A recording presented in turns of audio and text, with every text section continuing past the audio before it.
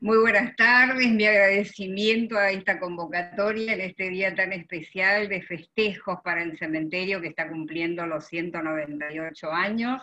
Así que mi agradecimiento a María Laje, a su plataforma de Patrimonio Funerario Mundial, a Carmen Virasoro y a todos los integrantes de ADACRE en esta convocatoria y este emprendimiento que ha sido maravilloso y por todos los proyectos en curso y por los próximos a venir, que la verdad que me pone muy contenta, la verdad que se movilice todo esto para este cementerio tan querido que es el cementerio de la Recoleta.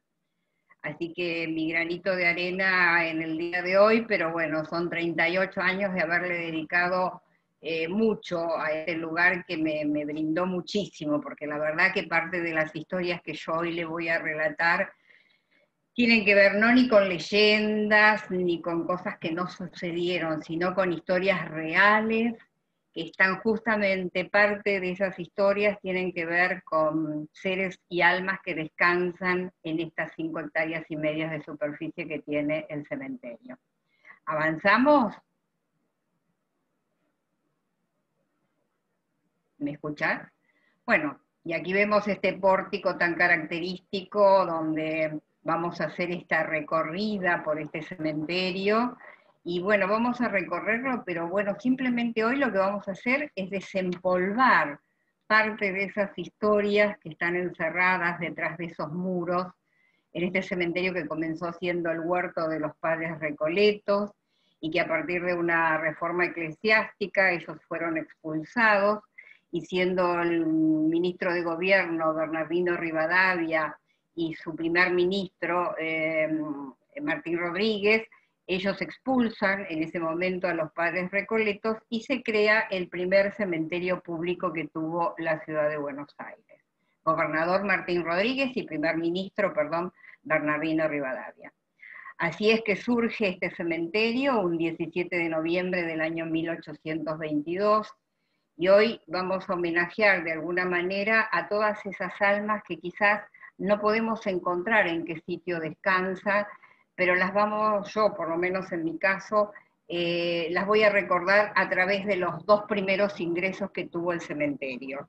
Una fue María Dolores Maciel, que su constancia figura en el libro del cementerio un 18 de noviembre de 1822, y como tantos fallecidos que hay desde 1822 hasta 1860 aproximadamente, y junto a Juan Benito, son los dos primeros ingresos que constan en los libros de inhumaciones que tiene la administración del lugar. Esos libros se encuentran en la calle Junín 1790, que es la administración del cementerio de la Recoleta. Y los libros están separados, están separados por sexo, hombres y mujeres. Allí podemos ver todos esos ingresos que se fueron dando en el cementerio, pero no hay constancia del lugar físico donde fueron enterrados. Así que un homenaje para ellos, para el descendiente de Tupac Amaru, para la nieta de Napoleón Bonaparte, para para la REA, y bueno, y tantos otros, Anchoris, que fue un religioso que intervino como sacerdote en la asamblea del año 13, a Blas Agüero, que también está en un sitio especial, a un hijo natural de Juan Bautista Alberdi, forman parte de esas personalidades que están detrás de esos muros, pero que no podemos saber en qué sitio descansan. Así que mi homenaje a todos ellos y a todas esas almas, vamos a iniciar este recorrido contando historias de hechos que yo he vivido allí adentro en este cementerio. ¿Avanzamos? Y acá en este plano lo que ustedes van a ver es de quiénes yo me voy a referir.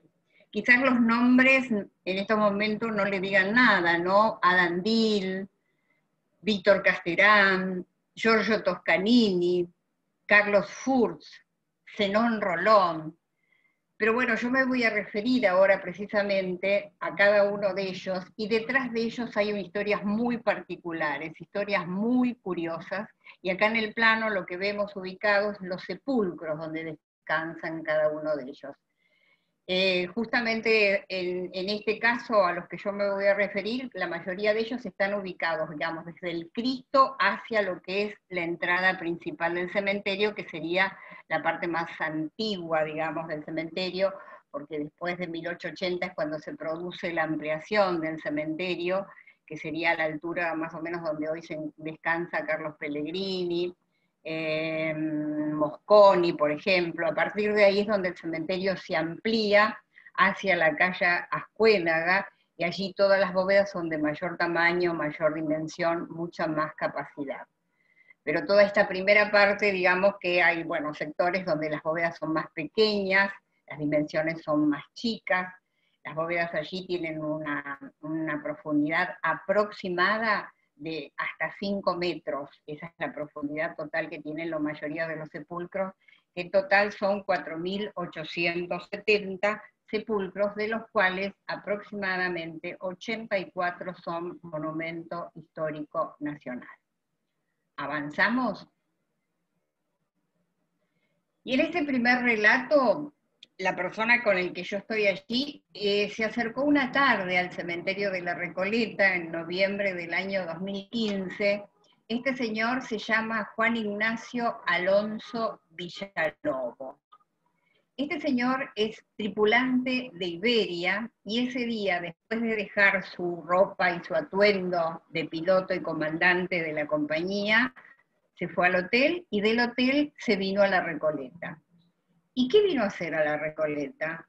Él traía en sus manos ese frasco que yo tengo en estos, eh, que se ve en la fotografía, y en ese frasco hay un retoño de un árbol, y él lo que quería hacer es dejar ese retoño de ese árbol al poeta español Carlos Dill, que descansa en el cementerio. Entonces él se acercó y me preguntaba dónde había bóvedas Dill en el cementerio. Yo la verdad que la historia del poeta no la conocía. En el cementerio hay cuatro bóvedas DIL, así que bueno, le indiqué dos que se ubicaban en, la sección 11. Él se fue a tratar de ubicarlas, volvió, no las, me dice, no, Susana, esta, esta, ninguna de estas dos fue. Yo en ese momento me encontraba con Isabel Irigoyen, eh, que me estaba acompañando en la oficina que se encuentra en la entrada principal del cementerio, y bueno, ahí se me ocurrió otra, porque en realidad eh, las dos que yo le había indicado primero están en la sección 11 del cementerio, que la sección 11, no sé si se ve el planito, sería del Cristo a este sector es la sección 11. Allí en ese sector hay dos bóvedas vil. Bueno, en ninguna de estas dos estaba, según él, el poeta que él buscaba poeta argentino que descansa aquí en el cementerio. Entonces, bueno, le indico otra bóveda DIL que justamente está muy cerca de la tumba de Domingo Faustino Sarmiento, que es el único que tiene la señalética en el cementerio sobre la calle principal. Allí vemos la referencia del camino que nos lleva al sepulcro de eh, Domingo Faustino Sarmiento, Monumento Histórico Nacional.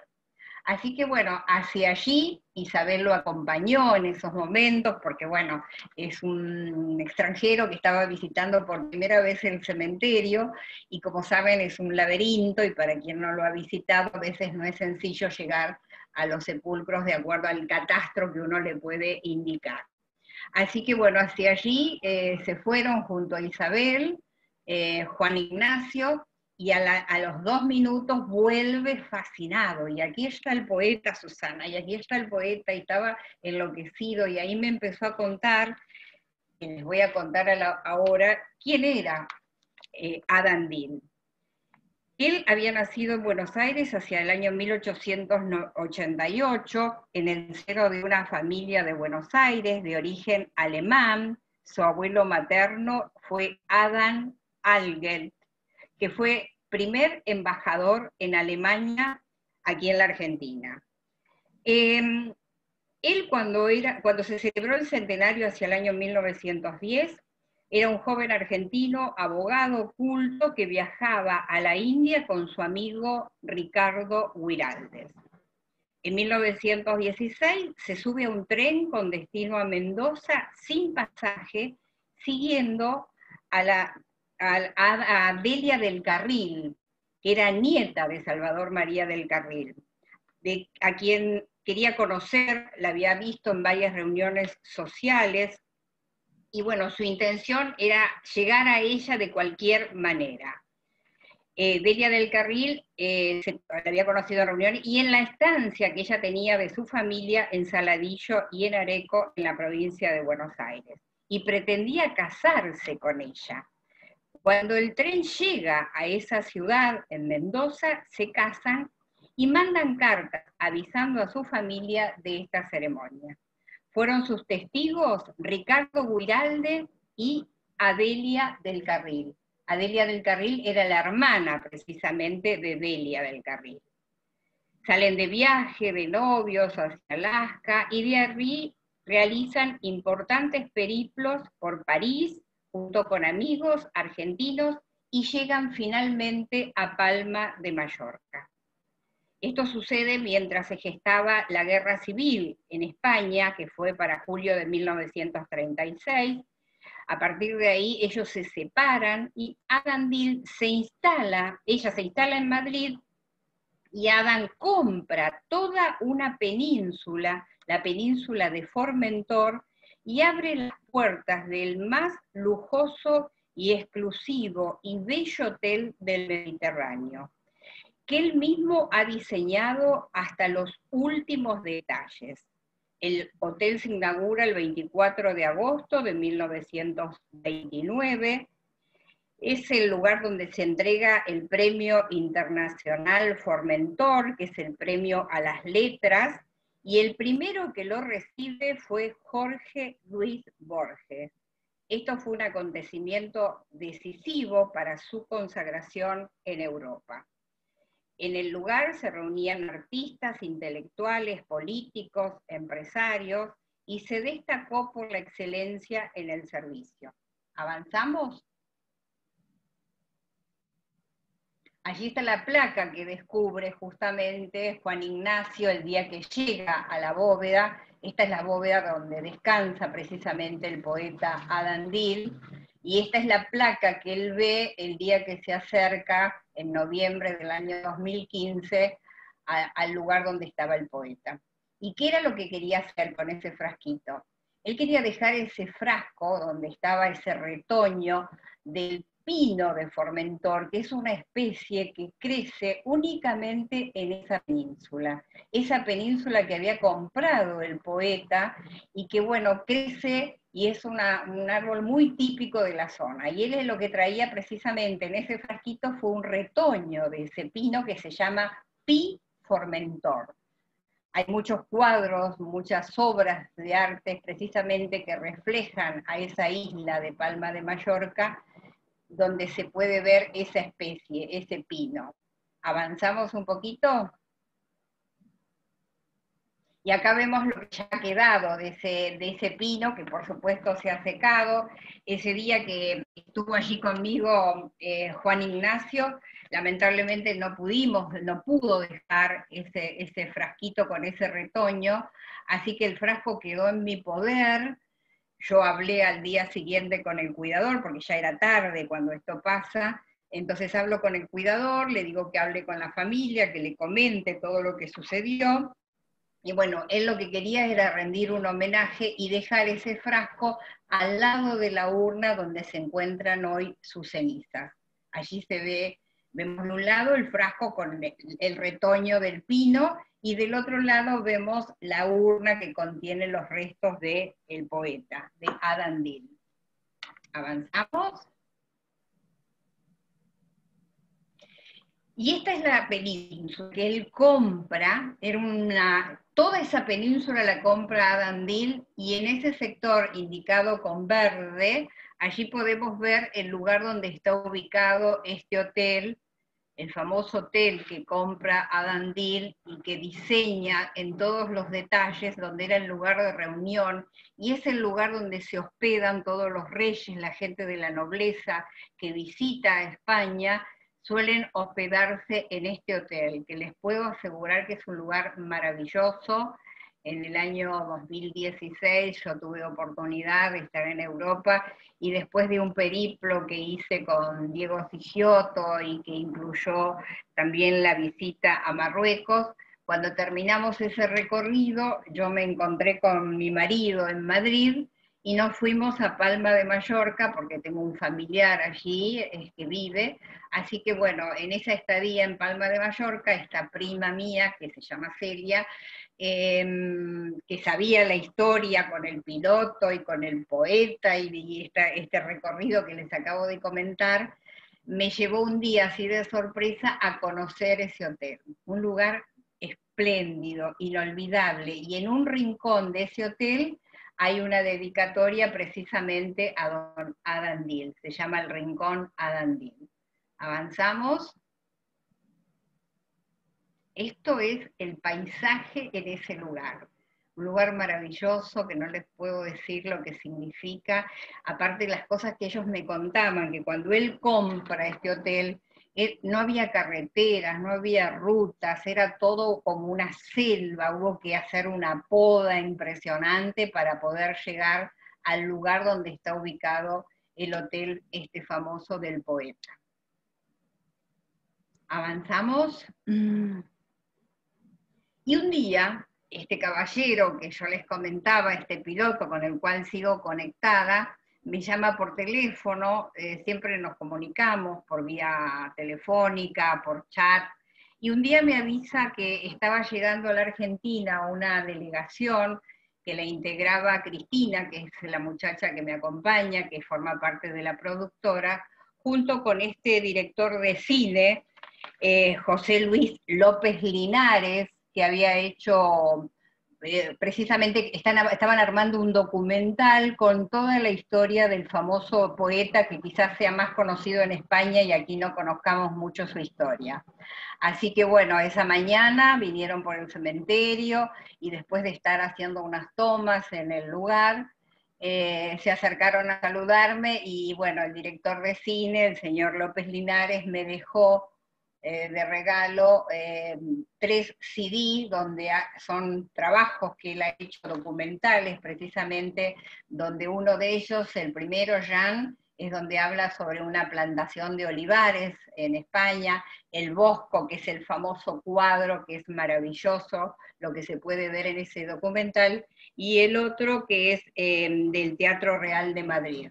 Así que bueno, esos son los lugares con que uno se liga, en este recorrido que vamos a hacer, donde nos fuimos a España y de España, yo ahora les voy a hacer escuchar, espero que podamos, el audio que recibo mm, del piloto, después que yo le aviso que ya los había recibido, que ya habían estado en el lugar, y bueno, recibo un llamado de Juan Ignacio precisamente en agradecimiento por haber recibido a esta comitiva, y justamente hoy yo estuve en contacto con él porque quería saber si a pesar de esta pandemia el hotel sigue abierto y si, ya se había hecho el documental. Y justamente en el día de hoy, hace un ratito, acabo de recibir el link donde ya está eh, la realización concretada. Así que bueno, para un futuro vamos a ver, yo todavía ni siquiera lo he podido ver, porque esto fue hace un ratito que me llegó, pero bueno, ya está hecho el documental sobre la vida de Adam Dean que lo llevó adelante este director este, López Linares. Yo ahora les voy a hacer escuchar, espero que se pueda, el audio del comandante de Iberia con el cual estamos conectadas y estuvimos hablando hace un rato. Hola Susana, ¿cómo estás? Qué sorpresa. Perdona, acabo de aterrizar en Madrid, que vengo de Lima, y he visto vuestra foto y tu mensaje pues nada, que bien, que, envidia. Ya me hubiera gustado a mí acompañarles. Pero ya lo volveremos a hacer, seguro que lo volvemos a hacer. Lo que pasa es que mi avión hace ya como dos años que no, que no va por Buenos Aires, va otro, va otro tipo de avión. Así que a ver si me cambian ese avión y, vuelvo a Buenos Aires, que, os echo mucho de menos. Me apetece continuar la investigación con, con Adam Díaz. Te mando un beso enorme y un millón de gracias por, por atenderles también y todo. Un beso. Chao, chao. ¿Se pudo escuchar bien, María? Perfecto. Buenísimo. Bueno, salimos de España, salimos de la historia del poeta Bandil Eh, bueno, acá está un poquito el resumen de lo que ustedes pueden ver en la pantalla táctil, ese elemento tan importante que tenemos ahí en el gabinete, donde se relata un poquito lo que yo les estuve contando sobre la trayectoria del poeta Adam Dean. ¿Avanzamos? Bueno, y acá nos vamos a otro hecho curioso que también em, hace referencia al cementerio de la Recoleta, y es eh, que el 12 de octubre del año 2015 la señora Elena Sálico, guía, profesora de inglés, me invitó a un abrazo al patrimonio en la Plaza Dante, esa plaza que se encuentra ubicada ahí en el barrio de las Recoletas, en la avenida, entre la avenida Pueyrredón, Libertador y Figueroa Alcorta, precisamente por unos episodios de vandalismo que se estaban sucediendo en la ciudad de Buenos Aires. Y bueno, a raíz de ese grupo que nos acercamos, por convocados por, um, Elena y el grupo, eh, ahí conozco y me presenta al arquitecto Germán Carvajal. En cuanto escucha que yo soy del cementerio de la Recoleta, bueno, Germán me dice, ay, tengo una historia muy interesante para, hacerte conocer o para que conozcan. Y ahí empieza el relato. ¿Avanzamos? Eh, Germán Carvajal me pone en conocimiento de este señor que vemos aquí. Germán Carvajal es eh, sobrino nieto de Víctor Casterán. Este señor que nace en 1882 en Montevideo, Uruguay, hijo de franceses, fue el mayor importador de naftas y querosén de la Argentina, antes de las grandes compañías petroleras internacionales que vinieran al país. Esta actividad le rindió excelentes resultados económicos. En la década de 1930 construyó un complejo llamado Los Ñanduces, que está ubicada en Ingeniero Matchwick en la provincia de Buenos Aires.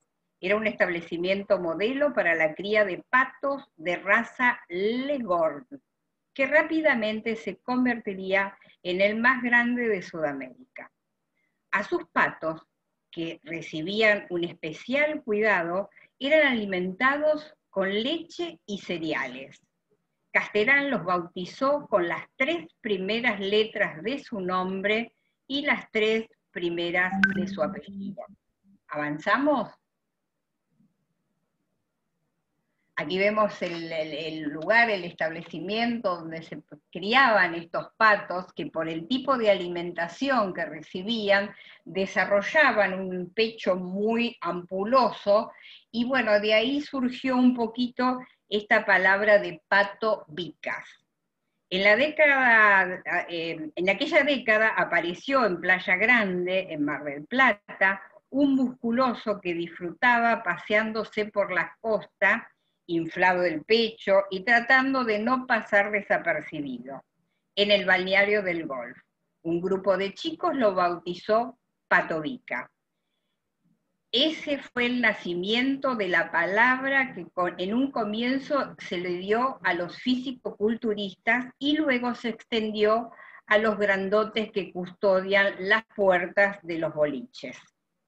Justamente el día 15 de noviembre se celebró el Día del Pato Vica y acá como ven, por Víctor Casterán, entonces con las tres primeras letras de su nombre más las tres letras de su apellido, de ahí surge Big Cada vez que veían a alguien así, tipo físico-culturista, de un torso muy desarrollado, le estás alimentado como los patos de Vica, ¿no? Pato Vica.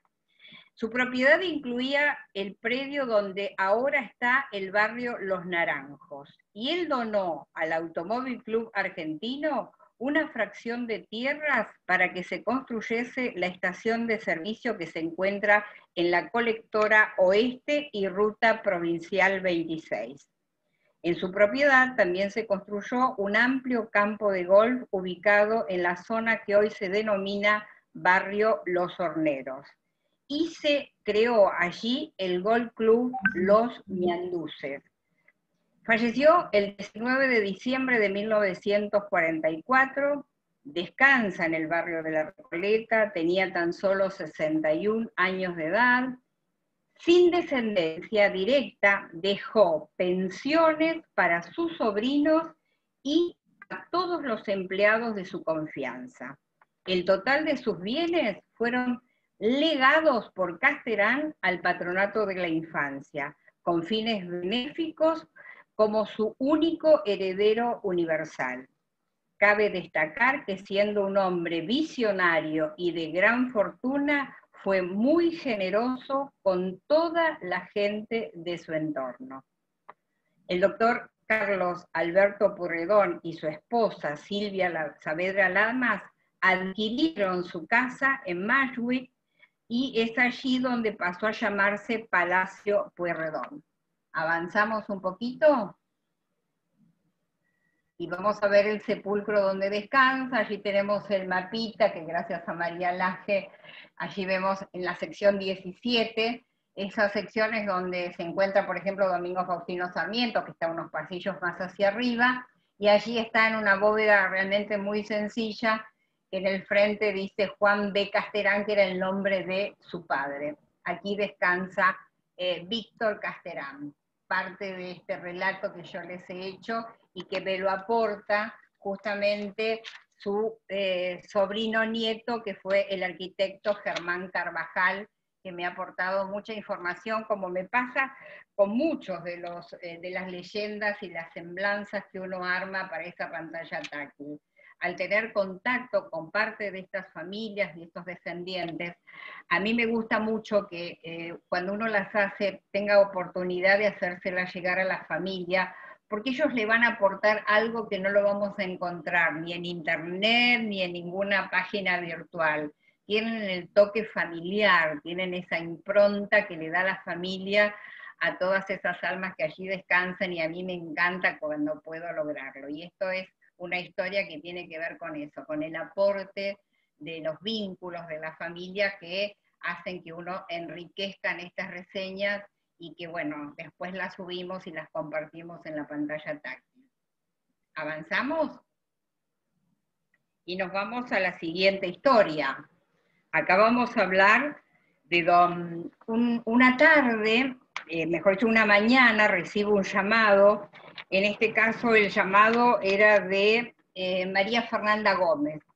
María Fernanda Gómez es una guía que, bueno, aparte de ser una gran amiga, me pregunta, dice, Susana, ¿puede ser que esté Toscan, Giorgio Toscanini en el cementerio de la Recoleta?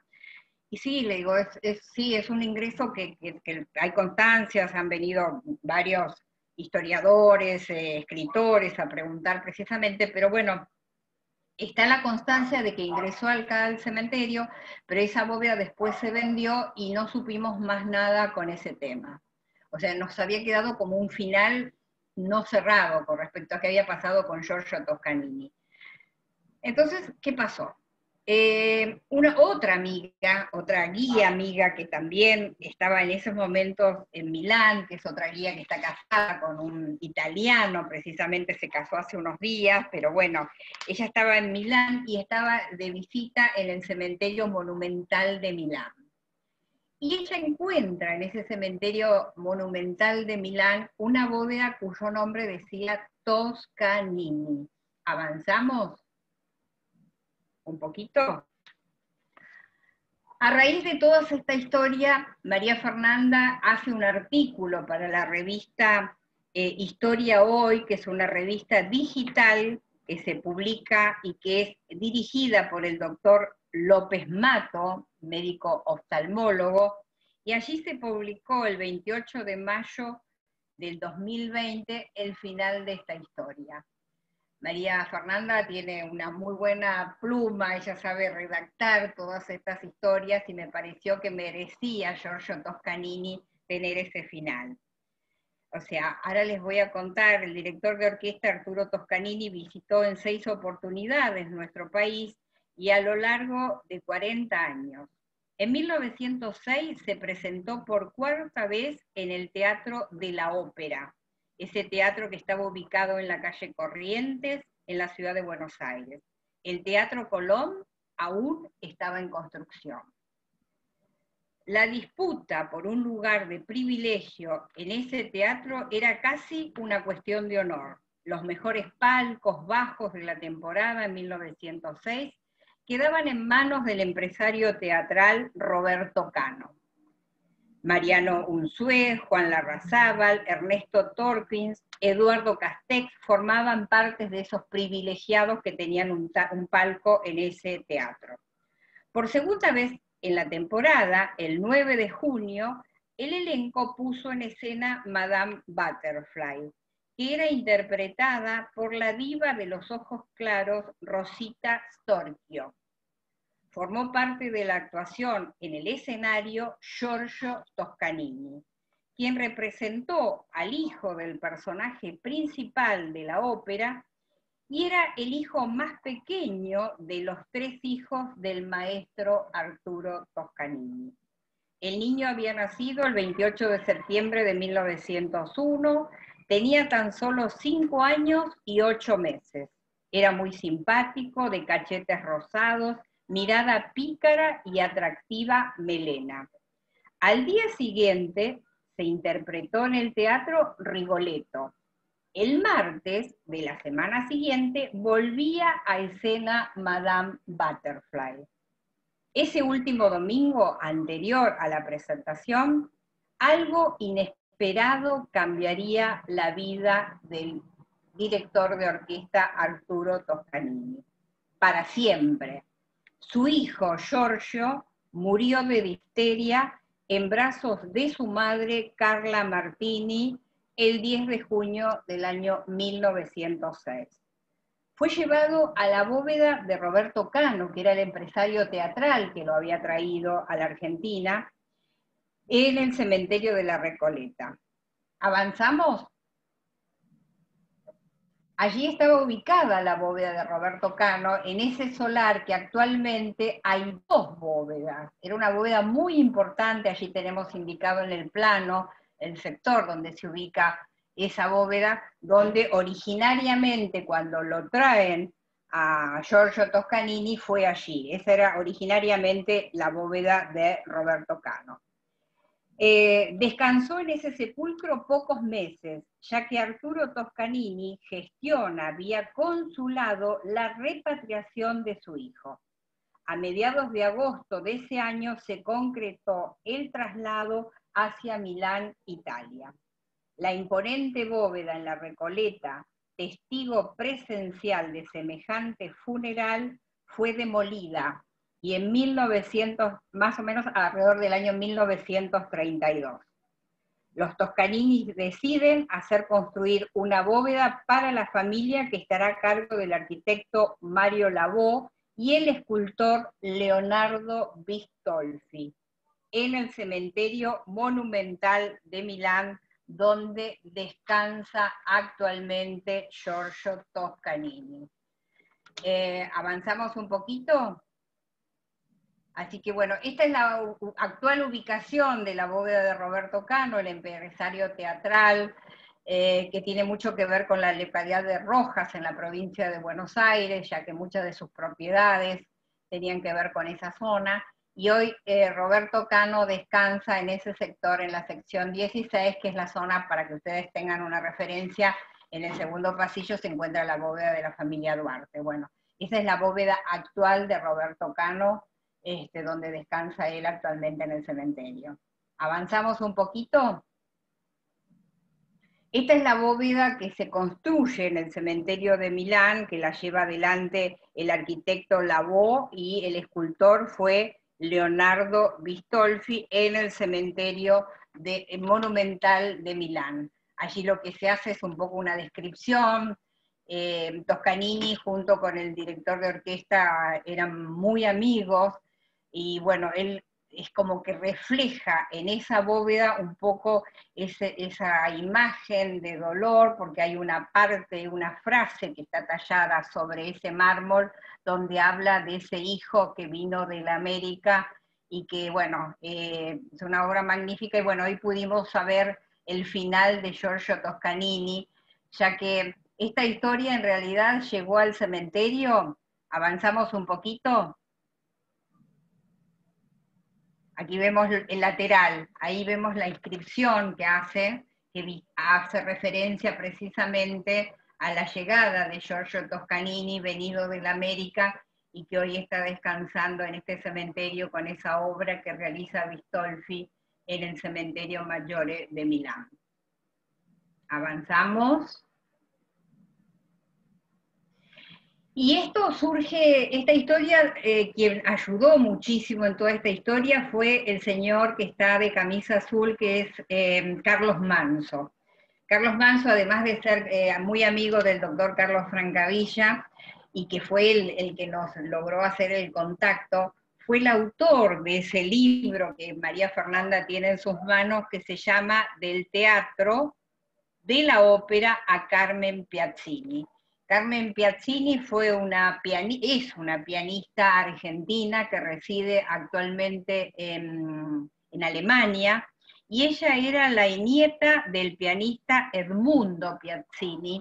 Y en ese libro, ahí que María Fernanda a través de unas tratativas logra comprarlo, porque en realidad ya no, no, no se consigue más, ya no hay más ejemplares, el autor tiene solamente el que él se quedó, Así que bueno, consiguió comprarlo por Mercado Libre y ese, ese día, que fue el 17 de diciembre del 2019, nos reunimos en la Biela, los convoqué a Carlos, a María Fernanda, a Carlos Manso, sobre todo para que Carlos Manso pudiera firmarle ese libro a María Fernanda y aparte nos, nos comentó y le pudimos responder a Carlos Manso dónde descansa Giorgio Toscanini esos son los privilegios que te da este lugar y es como que cuando uno hurga en la memoria de todas esas reseñas, yo no me quedo solamente en el texto, trato de tratar de encontrarle ese, ese final, sobre todo cuando es incierto o quedado inconcluso, ahí pudimos con satisfacción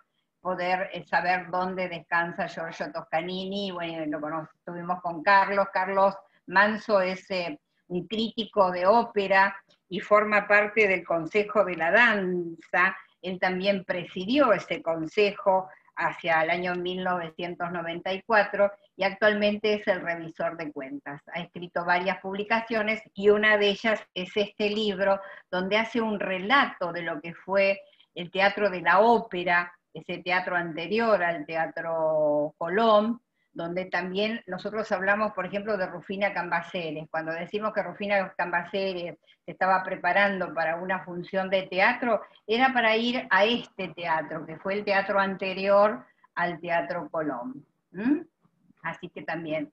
Y quedó plasmado todo esto en una nota que también los invito a que visiten, eh, la revista digital Historia Hoy, porque hay, aparte de esto, importantes artículos que se publican Em, que publica y que dirige el doctor López Mato. Es una publicación digital que la pueden consultar por computadora, tienen artículos muy, muy buenos. Avanzamos. Aquí tenemos el frente del Teatro de la Ópera. Allí lo vemos del lado izquierdo al empresario teatral Roberto Cano, a su esposa, y del otro lado lo vemos a Edmundo Piazzini y a Carmen Piazzini, ¿sí? Ese es el, libro en el cual nos basamos y que lo compró María Fernanda, después me lo pasó a mí para leerlo, y es un deleite, la verdad, porque hace un relato de lo que fue ese teatro, un teatro magnífico, lo que fue la construcción. Roberto Cano vivía sobre la calle Sarmiento y tenía un túnel que se comunicaba directamente con el teatro. Así que fueron esas maravillas que existieron en la ciudad de Buenos Aires y que intervino uh, Dormal en esa remodelación. Después, por cuestiones de mala administración, lamentablemente, eh, ese teatro desaparece y bueno, hoy tenemos un teatro de la ópera con una arquitectura totalmente más ayornada de lo que fue esa magnífica obra Em, restaurada por Jules Dogmal. Avanzamos. Acá está la nota que se publicó, que intervino Laura, que era la que se encontraba en Italia, en Milán, y casualmente en estos momentos también está residiendo allá en Italia, es la que hizo toda la investigación desde allá, y que tratando de aportarnos todo lo, lo, necesario en imágenes visuales y en texto para poder llegar al final y saber que hoy Giorgio Toscanini está descansando en su tierra, en su tierra, digamos, donde la tierra de sus padres, ¿no? Porque en realidad ese chiquito, un personaje tan especial que nos había quedado inconclusa, porque Carlos Manso era uno de los primeros que nos aportó en la historia de este, este chiquito. Y el otro que había escrito algunos artículos también fue Daniel Balmaceda, precisamente ah, referidos a Giorgio Toscanini. Pero bueno, hoy el final lo pudimos obtener gracias al paso de Laura por Milán y visitando ese cementerio monumental que según lo que cuenta es alucinante ese, ese cementerio. Avanzamos. Y ahora nos vamos a Dinamarca. Em, resulta que yo eh, leía unos artículos que leo siempre con, eh, de Roberto Elizalde. Roberto Elizalde es historiador, miembro de la Academia de Historia. Em, y bueno, en uno de esos artículos que yo leo de, de Roberto Elizalde, aparece la historia de este médico danés que descansa en el cementerio, que es el doctor Carlos Furs. Este artículo salió en la Gaceta Mercantil y bueno, cuando yo leo un artículo siempre me fijo a quién se refiere y después termino buscando a ver si está descansando en el cementerio de la Recoleta. Así es que descubro en los libros de la administración que se encontraba descansando en una bóveda del cementerio. A los pocos días recibo un llamado, la señora Ercilia, que era encargada de cultura de la Embajada de, Dinamarca, y me comenta que estaba tratando de ubicar eh, la bóveda donde descansa el médico danés. Ahí le comento, las dos habíamos leído el mismo artículo, así que me pidió una entrevista, vino con el embajador, se acercaron a mi oficina y bueno, venían con intención, hasta ese momento ellos no me comentaban nada, simplemente que bueno, querían conocer el lugar donde descansaba el, el, el médico, perdón.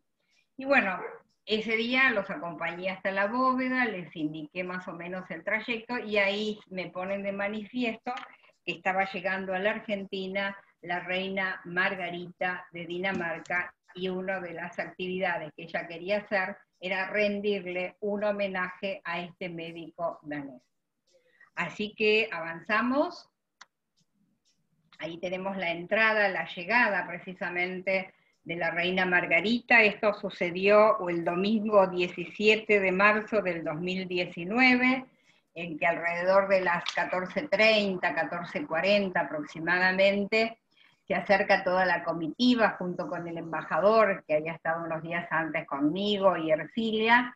Ahí la recibimos y junto a Mario Brown se le hizo un recorrido por el cementerio donde la reina Margarita escuchaba atentamente. Ah, seguimos, avanzamos un poquito.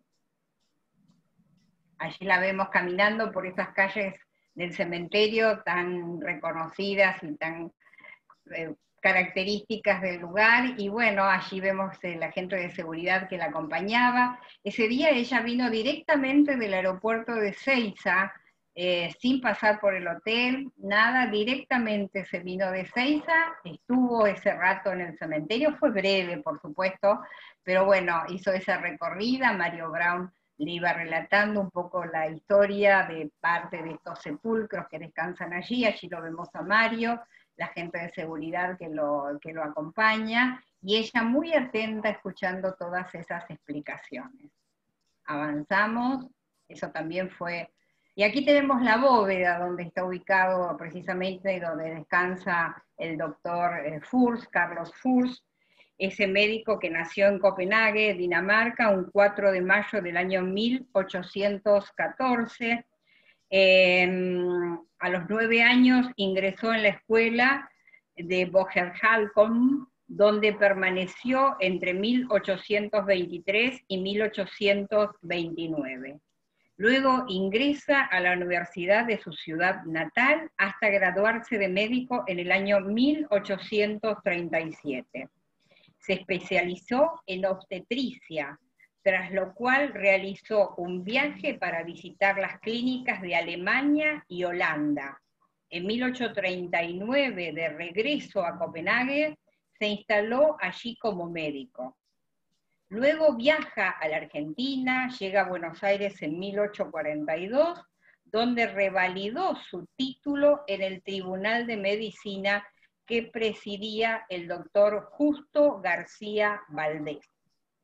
Atendió a pacientes en forma privada, pero también concurría diariamente al Hospital Británico, donde ejerció entre 1846 a 1857. En sociedad con los doctores Buenaventura Bosch y el irlandés John Leslie, instaló en 1856 el primer sanatorio para la asistencia médico-quirúrgica abierto en Buenos Aires.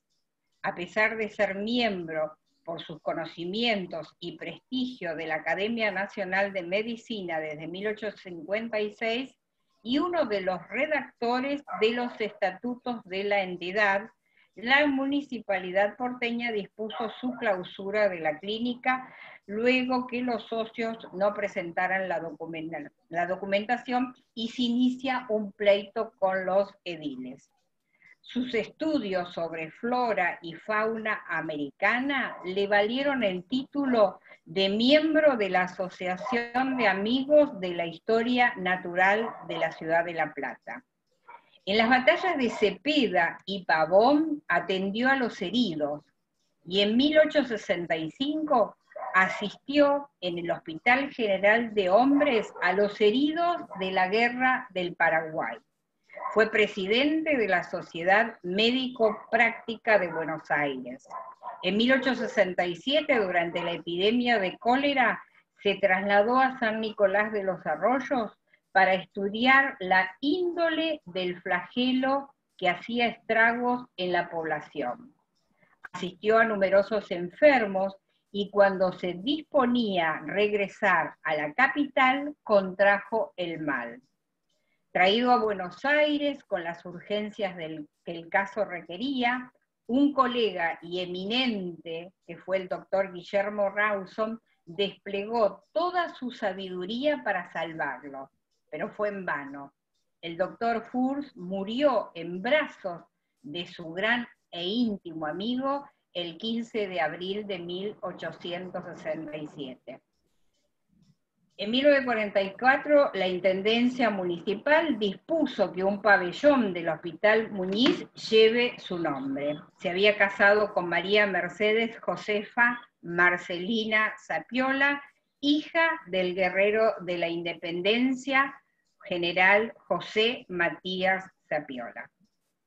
Así que bueno, esa es otra de las historias que alberga ese cementerio y esas visitas que uno recibe y que bueno, cuando se fue la reina Margarita nos dejó su firma en el registro de firmas que llevamos allí, que se inauguró por idea también del doctor Francavilla, quienes visitan el cementerio y cuando, digamos, la comitiva lo permite y ellos nos autorizan, tratamos de que nos dejen una firma y un testimonio en ese registro de firmas que tengo yo allí en la, oficina que está en la entrada, del Departamento Histórico y Artístico.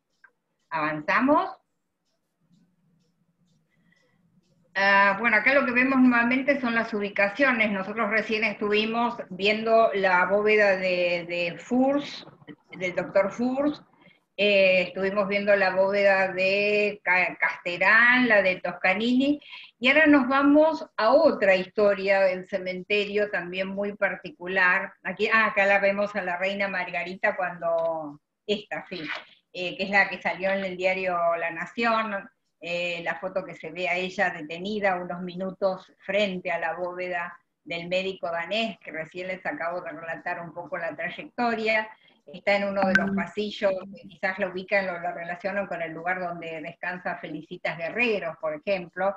Bueno, en uno de esos pasillos, esa bóveda que se ve con esa cúpula tan grande, corresponde a la bóveda Estrada, la bóveda grande de los Estradas, y adelante de esa estaría la bóveda Alcorta. Bueno, en uno de esos pasillos, a mitad de cuadra, en una bóveda que mira hacia la calle Ascuénaga, que es el límite norte del cementerio, allí descansa el doctor Carlos Furs.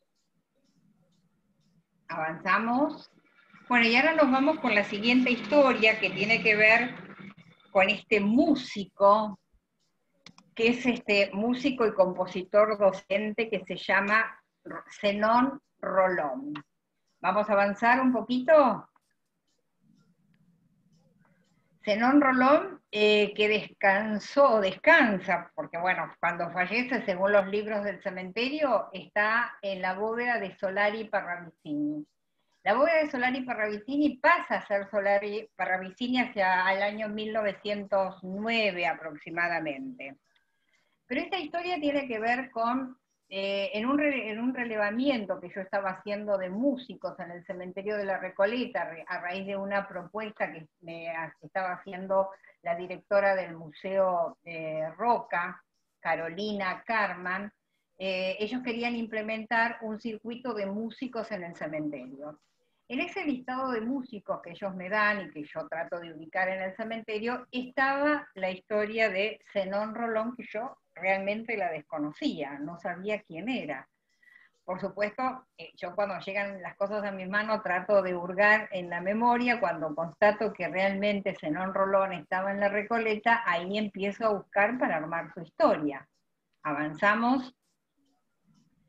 Traté eh, a través del cuidador, porque la bóveda es una bóveda que no se cuida, lamentablemente, a ver si se podía constatar que, realmente esté en la bóveda, porque bueno, generalmente cuando alguien compra una bóveda, como es el caso de los parravicini, generalmente se compra vacía, o sea, no se compra con los cuerpos allí dentro. Pero bueno, lamentablemente no se cuida, nadie la visita, no pude hacer la constatación de que realmente, pero bueno, para los libros del cementerio, Zenón Rolón figuraría que está o estuvo en la bóveda que hoy es eh, Parravicini. ¿Y qué es lo que tiene de particular la historia que a mí me impactó tanto de Zenón Rolón? Fue escritor, músico, compositor, docente, había nacido en Buenos Aires en junio de 1856. Procedía de una de las familias de la población afroporteña, próspera y educada en los valores culturales dominantes europeos que para mediados del siglo XIX no solo había alcanzado la libertad, sino que había crecido mucho económicamente. Inició sus estudios musicales con otros hombres, don Alfredo Quiroga, organista de la Iglesia de la Merced y de San Francisco en 1868, y con Basilio Basili, profesor de canto. Viajó a Italia para perfeccionarse en piano, residió en ese país por espacio de seis años y de regreso a Buenos Aires escribió, escuchen, una marcha fúnebre a San Martín que se ejecutó al desembarcar los restos del prócer en Buenos Aires el 28 de mayo de 1880. En 1882 instaló una imprenta y litografía musical en la calle Piedras de la ciudad de Buenos Aires, donde publicó numerosas obras. En 1887 fue nombrado profesor de música del Colegio Nacional de Educación, cargo que desempeñó hasta su muerte y allí escribió una gran cantidad de cantos escolares. En 1885 fundó el Club Social, integrado por gente de su raza, y fue director de conciertos en el Jardín Florida y en el Hotel Las Delicias de Adrogué entre 1880 y 1890. Fue director del coro de niños del Teatro de la Ópera, que recién estuvimos hablando aparte de ejercer igualmente la dirección orquestal de, diversas instituciones. Este esto es lo que más me llamó la atención. De su extensa producción musical se destaca el himno a Sarmiento, que se ejecutó el 25 de mayo de 1990, cuando se inaugura el monumento Em, en el barrio, allí en Palermo, allí se interpretó el himno a Sarmiento que eh, hace Zenón Rolón. También realizó el himno a Falucho, con versos de Rafael Obligado, compuesto en la inauguración del monumento al negro heroico en Palermo. Falleció en Morón, provincia de Buenos Aires, el 13 de mayo del año 1902. Gran parte de sus manuscritos fueron luego donados por sus hijos al Museo Municipal Histórico y de las Artes General San Martín de Morón, donde se encuentra actualmente. ¿Avanzamos? Cuando yo termino de hacer, eh, ah, otra de las cosas que me pasan con Zenón Rolón, eh, yo estaba haciendo un curso justamente en la legislatura de la ciudad de Buenos Aires, un curso muy interesante, eh, y la última clase era en lo que era antes la Escuela Mecánica de la Armada, ahí sobre la Avenida Libertador. Hoy ese lugar es el espacio de la memoria y los derechos humanos. Y en esa clase que tuvimos allí, yo por supuesto que cuando entré cerré mi celular, lo tenía apagado, y bueno, cuando nos hacen esa recorrida como parte del final del curso, en una de las salas había justamente una imagen de Zenón Rolón. Yo digo, este hombre me persigue por todos lados, es como que necesita que eh, encontremos, encontremos, o por lo menos yo, lo que se me puso en la cabeza es encontrar la partitura de, eh, de la que él compuso para cuando se inauguró el monumento a Sarmiento, ese famoso monumento a Sarmiento que realiza Rodén en Palermo.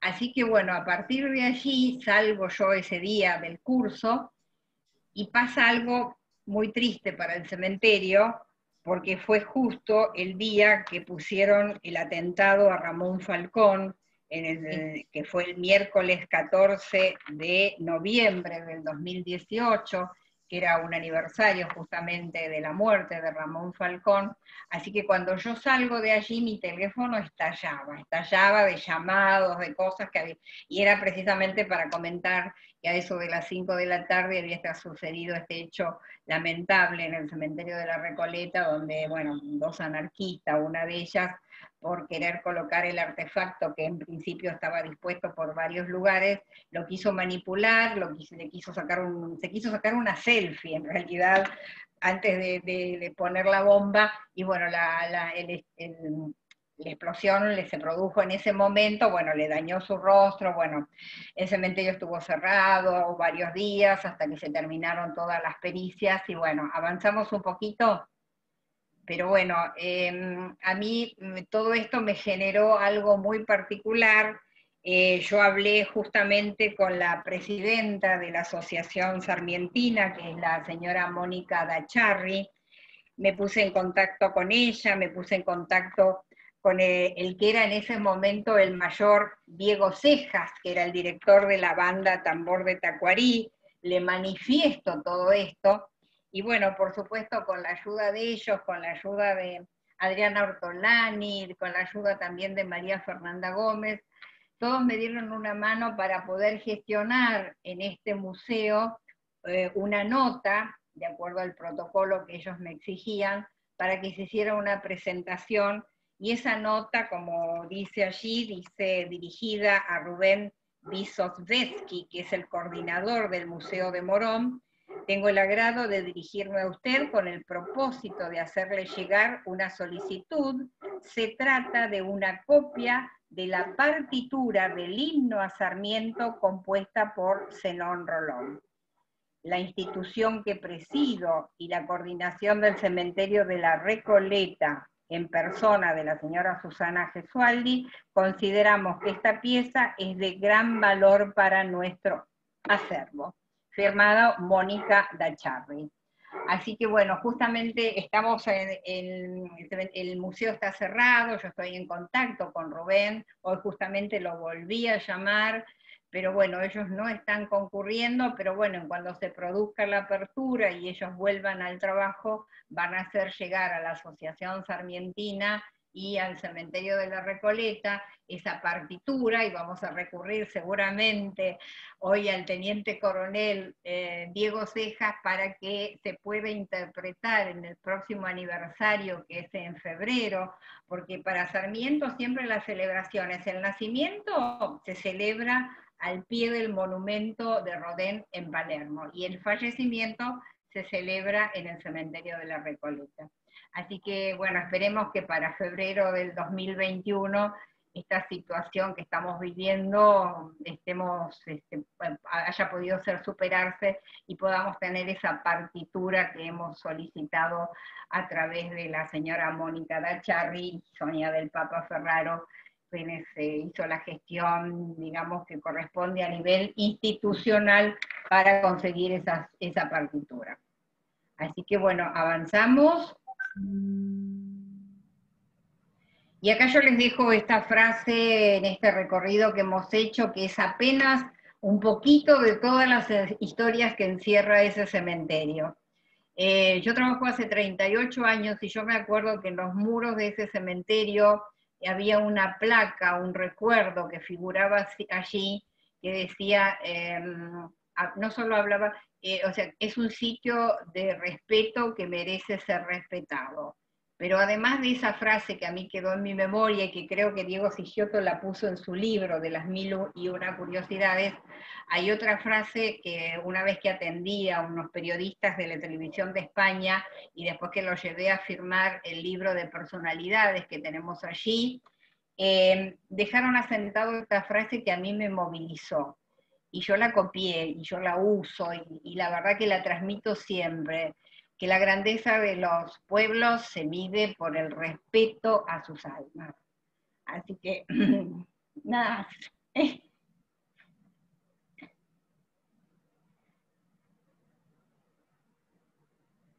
Gracias.